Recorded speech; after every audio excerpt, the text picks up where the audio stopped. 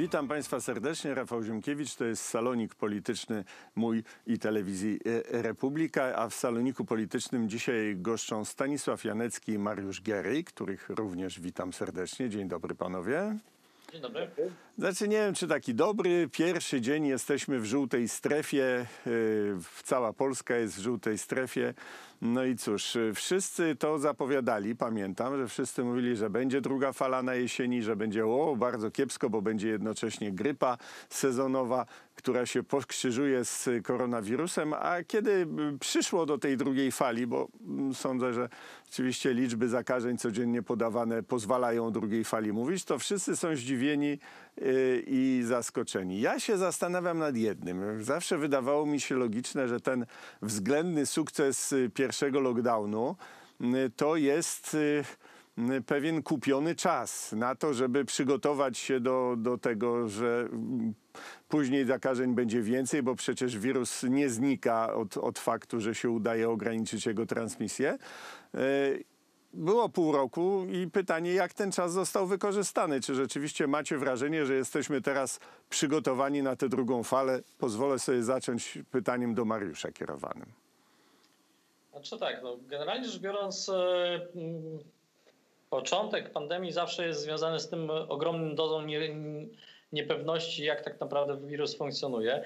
Więc niewątpliwie te miesiące zostały zużyte zarówno przez społeczeństwo, jak i przez e, ekspertów na bliższe poznanie, czy przez służbę zdrowia przede wszystkim, na bliższe poznanie e, mechanizmów, e, które towarzyszą temu transmisji tego wirusa. I to można dostrzec w procedurach szpitalnych. Te szpitale się w większości przygotowały, przynajmniej proceduralnie, czyli wiedzą, kiedy, e, kiedy co robić. E, nie domaga chyba system jednak ten, ten powiadomień, ale to jest zupełnie inna kwestia. E, natomiast e, ten czas też mm, niestety w moim ocenie e, pokazuje, że nie został wykorzystany na to, żeby wzmocnić tą służbę zdrowia. I tutaj cała ta maszyneria rządowa, która została przygotowana przez tarczę, ona była głównie skierowana tak naprawdę do, no, do lodu pracującego miast i wsi, czyli wyleciał helikopter w, w niebo, otworzyły się wrota i sypały się pieniądze.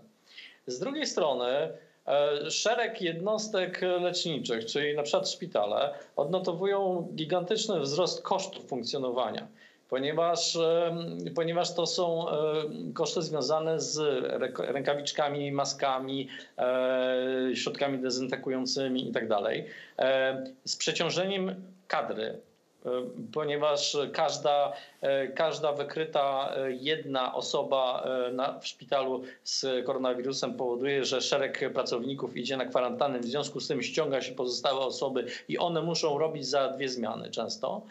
Więc ta sytuacja została, no, tak, tak, tak, tak to wygląda. I teraz systemowo, cała ta, cała ta pomoc systemowa, która została przez rząd przygotowana, była tak skonstruowana, że ci, którzy przestali leczyć na przykład, albo którzy, ci, którzy przestali funkcjonować z powodu koronawirusa, dostali, dostali pomoc.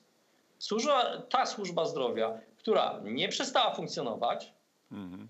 nie przestała leczyć, nagle okazuje się, że jest, e, że tak powiem, że jest e, no, sama sobie.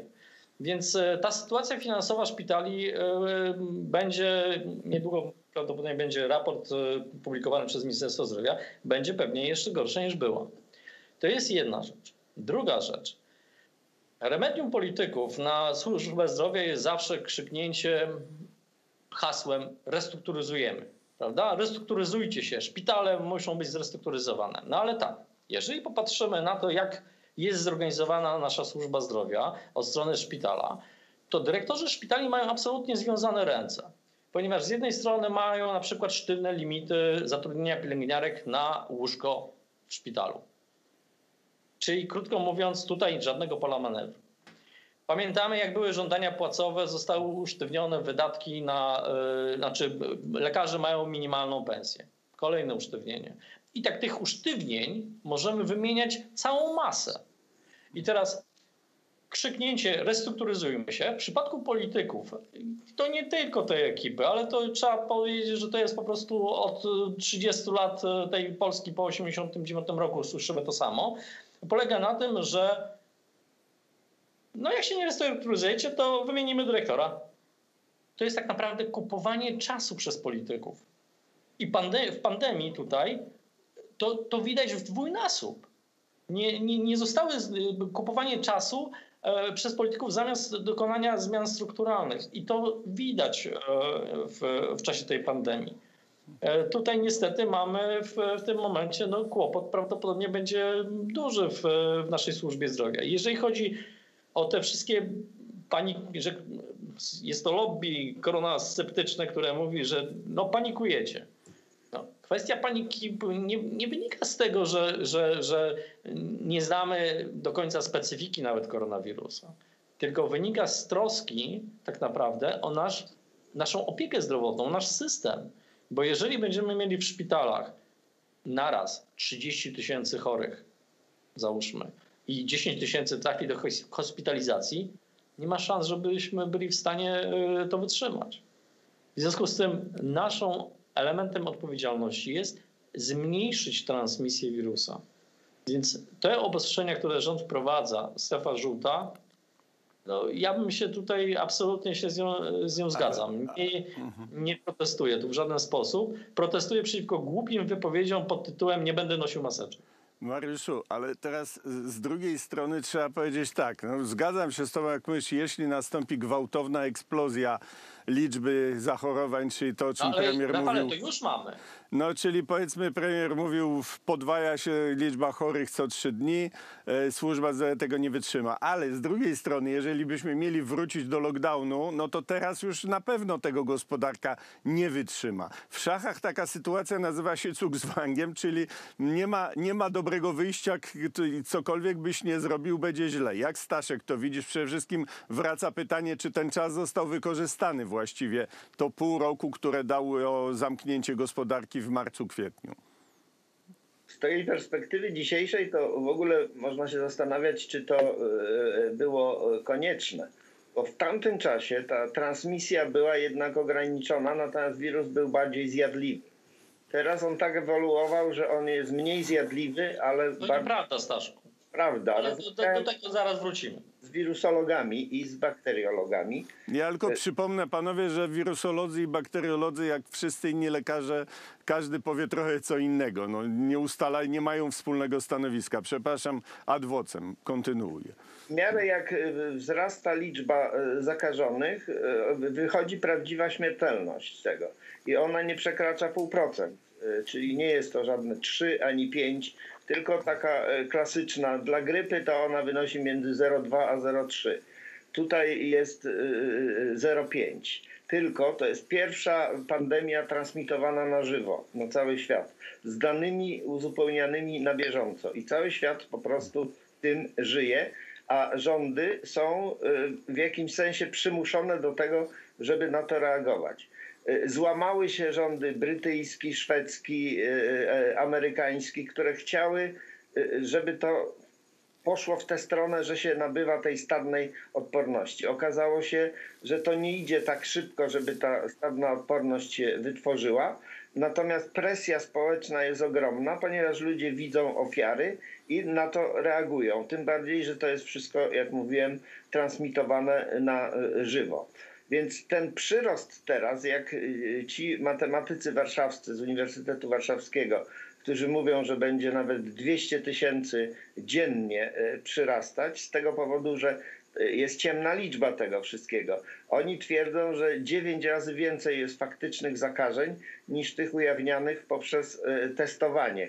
W innych krajach europejskich mówi się, że nawet 10 razy więcej jest tego ale y, ta stadna odporność wyrabia się dopiero powyżej 50% y, y, zakażonych, a jesteśmy na etapie 15% być może, czyli jeszcze wciąż jesteśmy od tego daleko.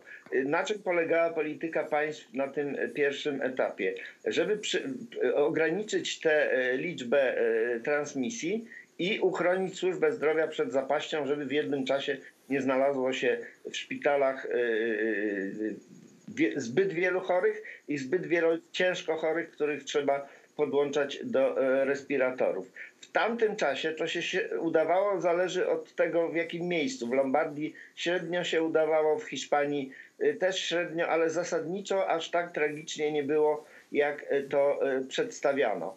Teraz, jeśli ta liczba będzie tak gwałtownie rosła, to wszystko zależy od tego, ile będzie tych przypadków ciężkich, bo y, jeśli to y, będzie bardzo szybko rosło, ale nie będzie dużo tych przypadków ciężkich, to wszyscy jakoś sobie z tym y, poradzą. Natomiast jeśli będą te alarmistyczne dane, jak mamy jednego dnia 76, 72, a potem może być grubo ponad 100 na przykład, no to będzie bardzo silna presja, że no róbcie coś, bo to wszystko się zawala, ludzie y, umierają. No i to jest, przyznam szczerze, coś, czego się najbardziej boję, bo jak pojawia się właśnie presja róbcie coś, to wtedy politycy próbują robić coś i robią przeważnie rzeczy głupie.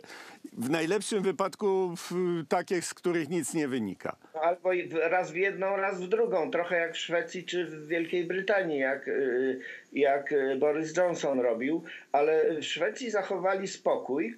Wprawdzie nie uzyskali lepszych wyników specjalnie niż y, inni, ale tam no, mniej ludzi też. Dużo gorsze. 10 milionów, nie dużo gorsze. To jest przesady. Dużo gorsze są wyniki w Belgii, która nie wiem, czy stosowała jakąkolwiek e, strategię. Belgia proporcjonalnie do liczby ludności 11,6 miliona. Y, 10 200 dotychczas y, y, śmiertelnych i więcej y, przypadków o kilkadziesiąt tysięcy niż Polska, y, a przecież kraj y, rozwinięty, szpitalnictwo i tak dalej. Więc tu nie ma y, żadnej reguły po prostu. I moim zdaniem nie ma mądrego na to, no bo na czym polegałoby to przygotowanie, że trzyma się rezerwę pustych miejsc covidowych w czasie, kiedy było lato, no to też nie ma większego sensu, ponieważ to zrujnowało praktycznie przyjmowanie normalnych, planowych pacjentów, rozwaliło cały plan operacji i, i tak dalej. Jak to zaczęło się normalizować, zaczęła przyrastać ta liczba przypadków i znowu zaczęło brakować, czy brakować, czy, y, zaczęło być tak pod kreską już, y, y, dobijać do, do tej rezerwy tych miejsc covidowych. Mieliśmy w minionym tygodniu takie y, głosy, że jeżdżą y, karetki i szukają miejsca, bo w niektórych szpitalach nie ma y, mie- miejsc covidowych. I teraz chodzi tylko o to, y, żeby po pierwsze nie ulec y, panice i temu, że właśnie wszyscy wszystko widzą na żywo i, jest nerwowość i nie wiem, czy jest jakieś inne lekarstwo niż w miarę sensowna izolacja, która ograniczy te transmisje do kontrolowalnych rozmiarów, bo ona jest, wprawdzie tych przypadków jest bardzo dużo, ale tych, które powodują, że ludzie są kierowani do szpitali, jednak jest y, proporcjonalnie mniej niż w tej No pierwszej i to jest, i to jest właśnie pytanie. yy, Ale to jest- o to, to- to pytałem są o kompletnie- system. Mhm. To są kompletnie błędne założenia, Staszek. Po pierwsze, znaczy ja w czwartek byłem e, u profesora Pyrcia w Krakowie w jego laboratorium, który bada na bieżąco e, wirusa tego w Polsce. E, Zajmuje się różnymi badaniami z nim związanymi. Po pierwsze, nie ma czegoś takiego w przypadku koronawirusa jak odporność stadna. E, Przeciwciała wytwarzają się mm, tak naprawdę dopiero po pierwsze w dziesiątym dniu, czyli bardzo późno e, po infekcji. Po drugie, e, wytwarzają się u stosunkowo niedużej grupy osób. Po trzecie, e, po trzech miesiącach od zainfekowania e, zaczynają zanikać. To jest bardzo. z tym, o jakiej my odporności stadnej mówimy? Mariuszu, to jest bardzo wesołe i to jest mocne. tak. Przepraszam, Staszku, nie, nie możemy, musimy w tej chwili przerwać, bo się nam czas skończył i przerwamy na chwilę i zaraz do tej rozmowy wrócimy e, po e, zaplanowanej i, i, i z góry zakładanej przerwie.